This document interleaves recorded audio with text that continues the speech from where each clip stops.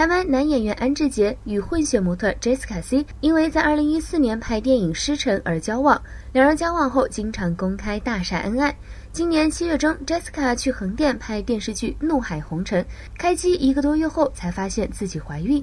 安志杰知道后立即到横店陪女友开工。上周，安志杰跟 Jessica 一起出席活动，期间两人不肯说明 Jessica 已经怀孕的事情。但被问到两人的婚事时，安志杰就表示会有所安排。随后，两人就去了马尔代夫度假。结果，安志杰在抵达酒店前已经跟酒店沟通好，在抵达的当晚吃完浪漫的海边烛光晚餐后，安志杰拿出戒指求婚。结果，Jessica 含泪答应，就连一直以硬朗形象著名的安志杰都忍不住落泪。安志杰终于跟女友开花结果。反观当年跟他曾经爱得如胶似漆，更一度谈婚论嫁的谢婷婷，跟安志杰分手后谈了一个男友，最后还是分手，目前还处在单身的状态。谢婷婷在回应港媒查询时表示：“恭喜他们，祝他们幸福快乐。”搜狐视频娱乐播报综合报道。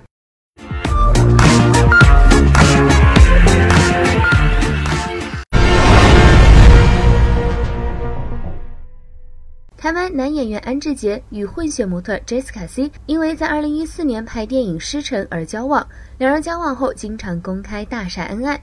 今年七月中，Jessica 去横店拍电视剧《怒海红尘》，开机一个多月后才发现自己怀孕。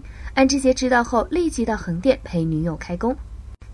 上周，安志杰跟 Jessica 一起出席活动，期间两人不肯说明 Jessica 已经怀孕的事情。但被问到两人的婚事时，安志杰就表示会有所安排。随后，两人就去了马尔代夫度假。结果，安志杰在抵达酒店前已经跟酒店沟通好，在抵达的当晚吃完浪漫的海边烛光晚餐后，安志杰拿出戒指求婚。结果，Jessica 含泪答应，就连一直以硬朗形象著名的安志杰都忍不住落泪。安志杰终于跟女友开花结果。反观当年跟他曾经爱得如胶似漆，更一度谈婚论嫁的谢婷婷，跟安志杰分手后谈了一个男友，最后还是分手，目前还处在单身的状态。谢婷婷在回应港媒查询时表示：“恭喜他们，祝他们幸福快乐。”搜狐视频娱乐播报综合报道。